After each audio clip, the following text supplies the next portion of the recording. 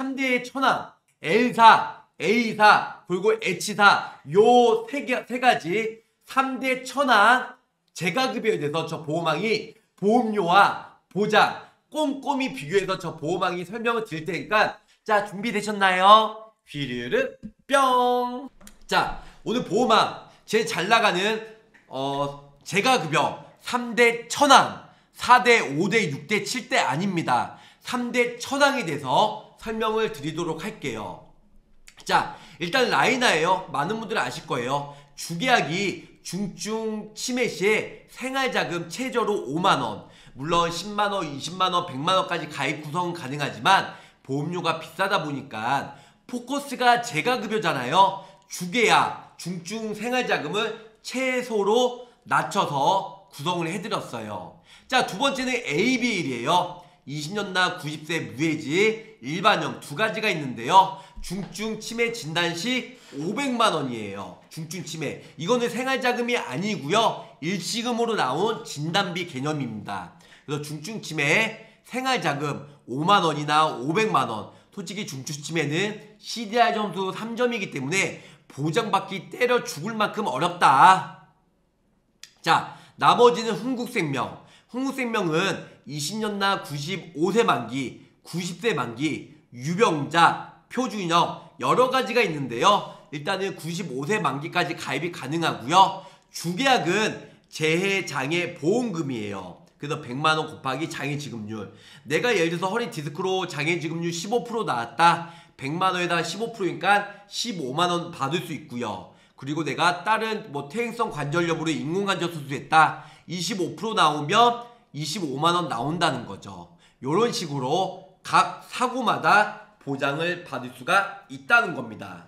자, 두 번째. 그러면은 재가급여. 어, 여기서부터 일단은 재가급여 1등급부터 5등급인데요. 일단은 라이나 같은 경우는 매달 50만원씩 90세까지 지급이 가능하고요. 이용 1회당 지급이 가능하고요. 월 1회 한도로 지급을 받을 수가 있다는 겁니다.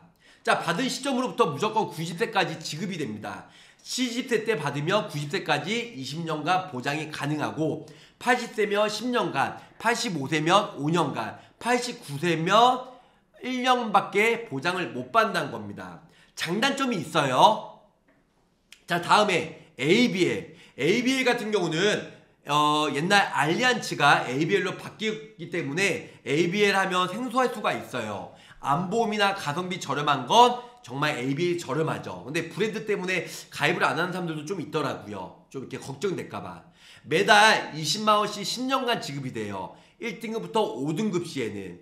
그리고 일단은 매달 50만원씩 10년간 되는 건 일단은 1, 2등급. 그러니까 1, 2등급 받으면 위에 20만원, 밑에 50만원. 그래서 합이 70만원 보장을 받을 수가 있다. 1, 2등급은. 3, 4, 5등급은 일단은 20만 원밖에 보장이 안 된다. 자, 90세 이전에 등급받는 시점으로부터 10년간만 지급이 된다. 90세 전에 만약에 예를 들어서 밑에 85세 받으면 95세 때까지 딱딱 10년만 보장을 받을 수가 있다는 겁니다. 자, 다음은 호랑나비 훈구생명이에요. 매달 30만원씩 10년간 지급이 돼요. 매달 30만원. 1등급부터 5등급일 때에는 95세 전에는 등급 받는 시점으로부터 역시 ABL처럼 10년간 지급이 된다. 예를 들어서 90세 때 진단을 받으면 100세까지 10년간 확정 지급이 된다. 95세 만기니까요. 만약에 94세 때 받으면 104세 때까지 어, 살아있으면 보장을 받을 수가 있다는 겁니다.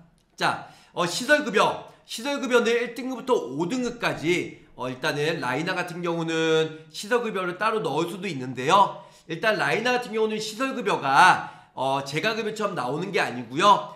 중증 치매, 경증 치매로 인해서 입원했을 때 경증은 하루에 2만원씩, 중증은 하루에 6만원씩 365일 보장을 받고 180일 면책, 또 1년간 보장을 받고 또 180일 면책, 퐁당, 퐁당. 보장받고 못 받고 보장받고 못 받고 이런 식으로 구조가 가능하다. 자 나머지 일단은 AB에도 시설급여를 넣을 수도 있고 뺄 수도 있다. 자, 흥국생명 넣을 수도 있고 뺄 수도 있는데요. 흥국생명 같은 경우는 재가급여와 시설급여가 세트로 가입이 된다. 그래서 라이나와 ABL처럼 시설급여와 재가급여를 뺄 수가 있냐?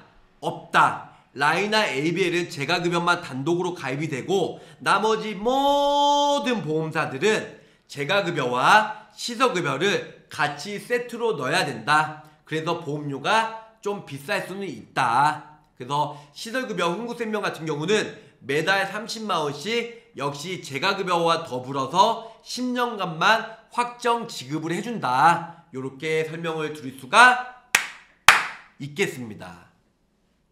자, 납입 면제는 라이나 같은 경우는 중증 치매, CDR 점수 3점 시에 납입 면제가 되고요. 자, ABL 그리고 흥국생명은 일단은 50% 이상 장애 상태나 5등급만 받아도 장교양 등급 5등급만 받아도 납입 면제가 된다. ABL은요.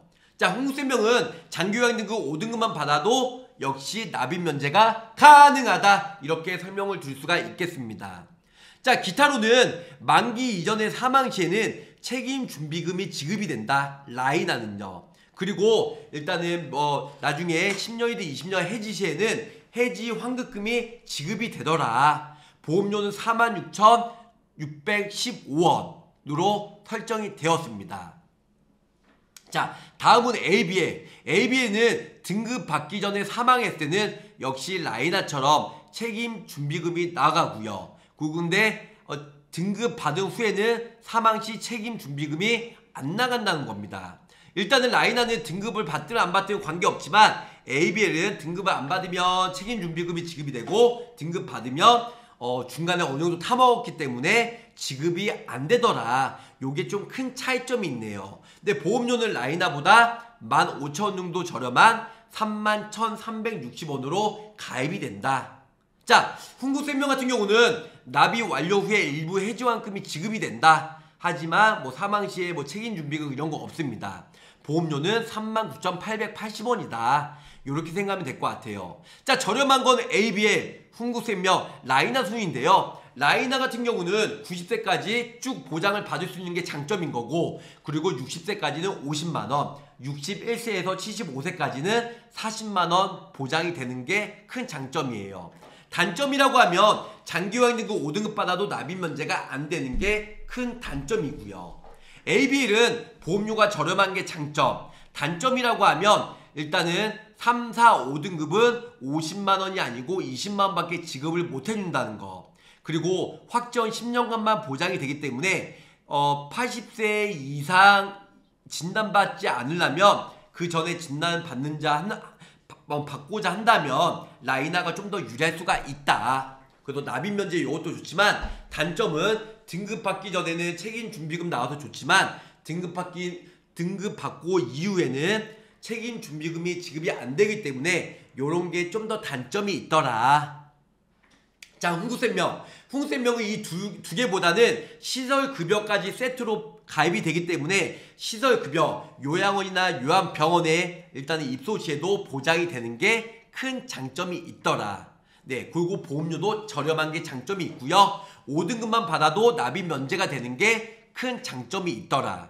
자, 그럼 단점이 뭘까요? 단점은 50만 원이 아니고 30만 원만 지급해 준다. 그리고 10년간만 지급해 주기 때문에 일찍 진단 받으신 분들은 딱 10년간만 보장이 되기 때문에 90세까지 라이나처럼 보장이 안 된다. 하지만 단, 장점은 시설 급여도 보장을 해주고 5등급만 받아도 납입 면제가 해준다. 하지만 단점은 납입 완료 후에 해지환급만 지급이 되지 사망 시에는 책임 준비금 납입한 보험료를 돌려주지 않더라. 요게 단점입니다. 하지만 보험료는 39,000원대니까 ABA가 라이나 중간에 보험료로서 그렇게 보험료가 부담이 없다는 겁니다. 본 광고는 손해보험 광고 심의 기준을 준수하였으며 유효 기간은 심의 일로부터 1년입니다.